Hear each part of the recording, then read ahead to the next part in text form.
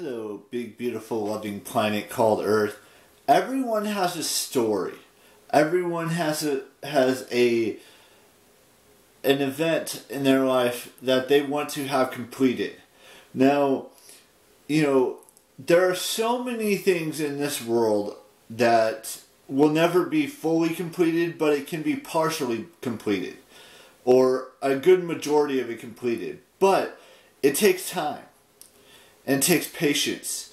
And it takes the willingness to be able to support or follow or you know be part of of a group of individuals that have existed for many many many many many many many many many years.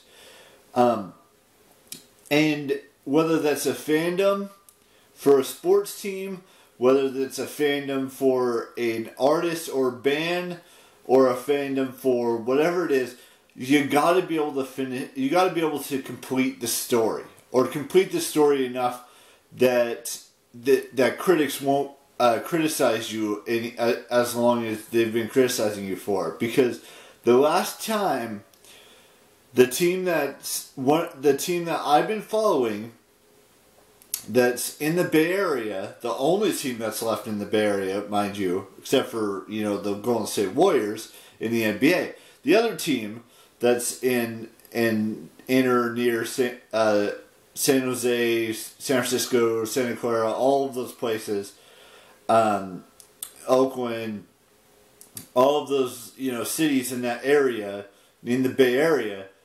This team deserves it above anyone else because they've waited 29 years to win it all. And I believe in my heart and in my gut, and as long as as well as all the other faithful out there in this world, they believe that they can get the job done today and hoist that trophy for the sixth time in their franchise history. And I'm not saying it's going to be easy because the Kansas City Chiefs are not team to be um, glossed over or looked over. Um, they have a good team. And no matter what happens today, I'm going to still support them through thick and thin. But I'm hoping that I'm celebrating tomorrow. I'm hoping and praying and have faith that that whatever happens that in this game today, we host we we hold up that sixth Lombardi Trophy um, in franchise history. And like I said, it's been twenty, not almost thirty years since they last won it. They last won it in 1994 or 95. It was one of those um, years. But I I have faith that they can pull this off, that they can win it and hoist that trophy up. But like I said, it's not going to be easy because Kansas City is not going to just lie down and hand us the trophy. We have to earn it, like we've learned everything else this year. But I, I'm I'm getting a little ahead of myself here. I don't want to get ahead of myself here. I'm just saying, you know, it's going to be a good game no matter what. Now, like I mentioned in yesterday's vlog, you know, not everyone watches it for the actual game. There's other other factors that go into it, like Taylor Swift, you know, the the commercials, the the halftime show, all of that stuff plays a factor in it. But what I'm really looking forward to is the actual game and the actual outcome of that game.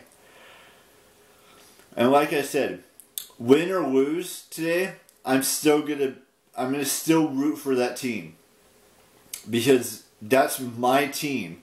That's the team I've been following for years and years and years and years and years and years and years.